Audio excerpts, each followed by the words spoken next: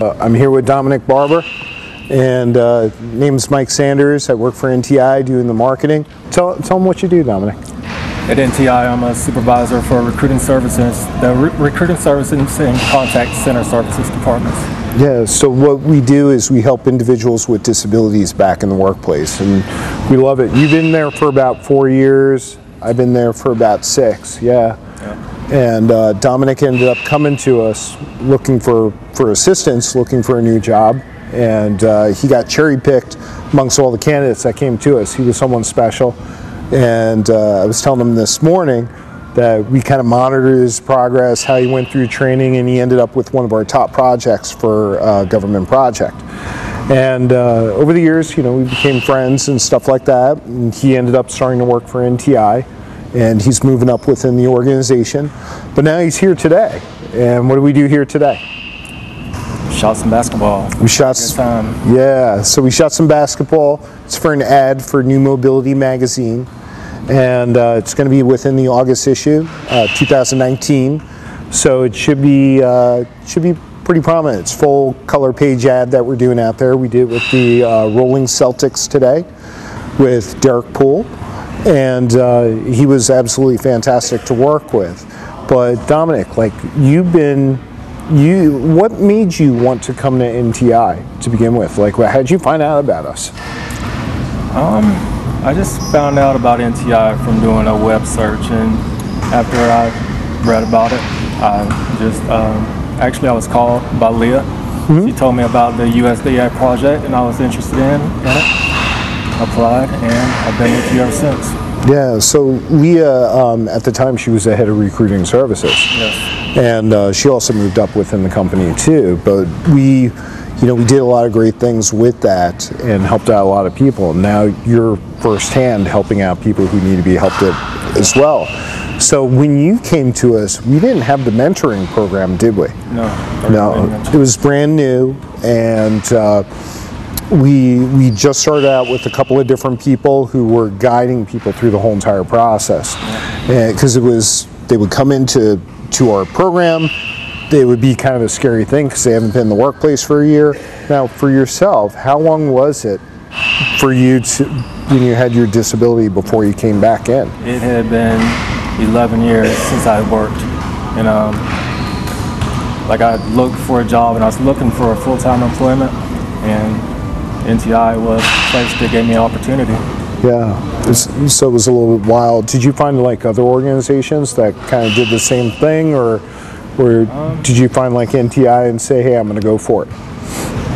I just kind of went for it with NTI, and um, once I found out about the USDA project, and that was something that I was interested in as far as for working in technology, and I thought it was a just a good entry-level job to begin with.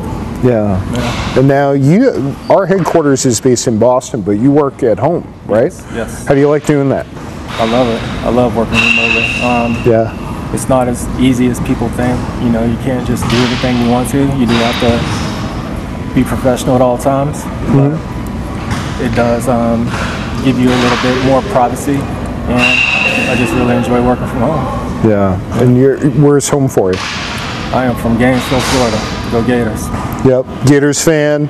And what did you do when we came up here? So we're in we're in Foxborough, Massachusetts right now, at uh, Mass Premier Courts, and uh, Dominic's staying at Patriot Place um, for the next couple of days, and has a view of um, where the Patriots play at Gillette Stadium. So um, we went around, and I asked I asked him. I said, "Do you want a picture in front of Gillette Stadium?" And what was your reaction on that? Of course. So if I did that Yeah, so being from Jackson, the Jacksonville area, you have to expect he is, uh, you are a Jaguars fan um, and Gators fan. Yep. Um, but did you still have a good time? yeah, like kicking around? Um, yeah, I had a really good time. Yeah. And you, you haven't had a chance to travel like a lot. So this is, but within the past couple of months, you've been up to Boston a couple of times. Yep, December was the first time I had been on an airplane since I got hurt in 2003, and now I've been on three trips here to Boston. Um, Within the past six months, right? Yeah, yeah. so something a little bit different. Um, yeah. So what else do you like doing with this? Uh, so are you gonna are you gonna stick with wheelchair basketball after trying it for the first time? I don't know that I'll really get into it as far as for training and trying to be on a team, but I could definitely, after getting out here and shooting around a little bit, I could definitely see myself getting out and just shooting around with maybe my nephews or some friends and enjoying shooting some basketball. Yeah. Yeah. Yeah, it's pretty fun. Have you done any sports since this happened? I, I do a lot of weightlifting and weight training and just things to stay in shape. And I stay around sports as far as for coaching. I coach youth football. Mm-hmm. Yep. Yeah. So tell us about that a little bit. Um, Well, actually, I'm not coaching anymore. I didn't coach last year, and I don't plan to coach this year. But I started coaching with one of my nephews when he was six years old, and I coached him and his team up until seventh grade, or through his sixth grade year. Um, we had a lot of success, won some championships. Um, that whole team, they all went and played middle school last year. So, and they won the middle school championship. They're a great group of kids, great parents, really smart, really athletic. Had a great time. I would definitely go back to coaching. Yeah. Yeah. And now you're coaching other people who are coming to NTI. Yes. So not only within your team, but also the people who are coming through the doors of NTI. Yep. It's a lot of job coaching that goes on, and just a lot of preparing our candidates for what they should expect when they get hired into one of our call center jobs. Yeah. What's what's the best thing that you've heard coming through the door of a candidate? Like candidates who come through NTI's door, what's the best thing that you've heard? As far as for what um, Like sometimes when I when I work for NTI and I talk to candidates, they're pretty happy about um, the fact that they actually found us through our advertising. Yeah. But for you, you're in a different department. You hear from the recruiting side. Yeah. Does it make a difference in people's lives? It makes a huge difference in people's lives because there are a lot of people with disabilities that want to start working again, but maybe they're hesitant for reasons just because they're not sure that they want to work in, a, in an on-site job. You know, working in an office, they just have insecurities maybe that cause them to not want to work on site. It could be anything, you know, but Yeah. I think that working from home definitely provides people an, a great opportunity.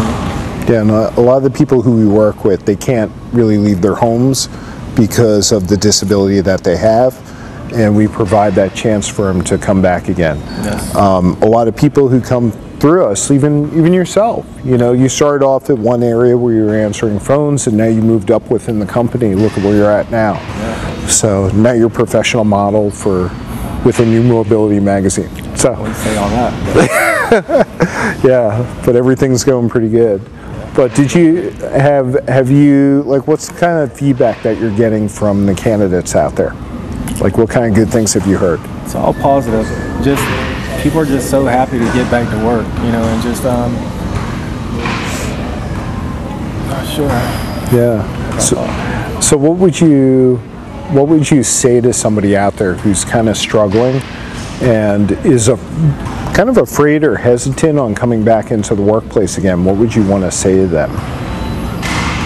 Um, I would I would tell them that NTI is a great opportunity for them to get started, and um, we provide not only jobs, but we also prepare you for the job as far as for training and Yeah, giving you life skills to move on forward. yeah. Yeah, so that's it. Dominic, thank you so much for doing this and thank you so much for being a part of NTI. Thank you. Really appreciate it, man. Thank you.